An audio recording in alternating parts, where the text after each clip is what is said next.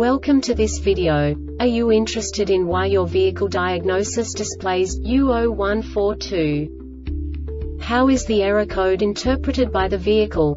What does U0142 mean, or how to correct this fault?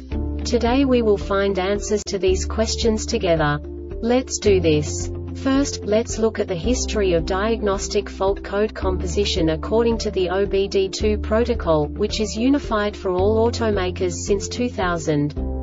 We divide the electric system of automobile into the four basic units. Powertrain, body, chassis, network. This distribution is defined in the first character code. If the second character is expressed as zero, it is a standardized error.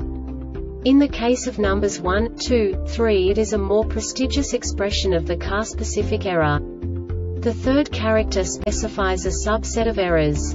The distribution shown is valid only for the standardized DTC code.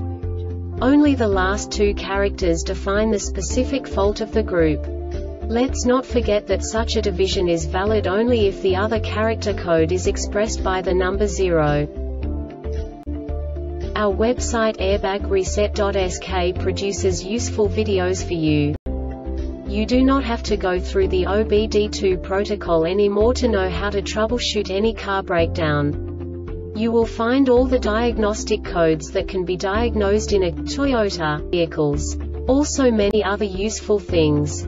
The following demonstration will help you look into the world of software for car control units. You unbelievably can move the video a bit further. The error code is split into two bytes consisting of 16 bits. One bit is the basic unit that each computer works with.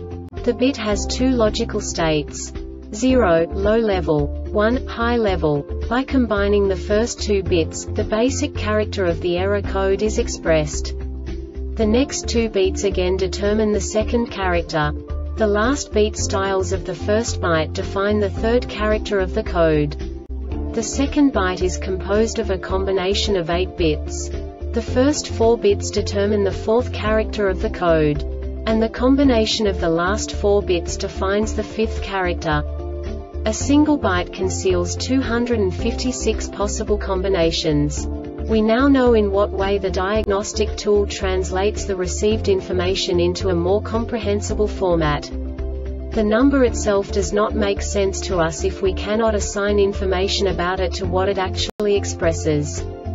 So, what does the diagnostic trouble code U0142 interpret specifically Toyota car manufacturers? The basic definition is Starter relay control circuit short to battery. And now this is a short description of this DTC code. The ignition is on or in the start position the system voltage is between 95 to 18 volts.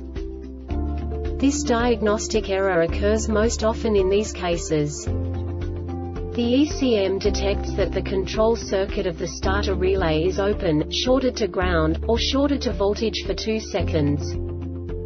The Airbag Reset website aims to provide information in 52 languages. Thank you for your attention and stay tuned for the next video.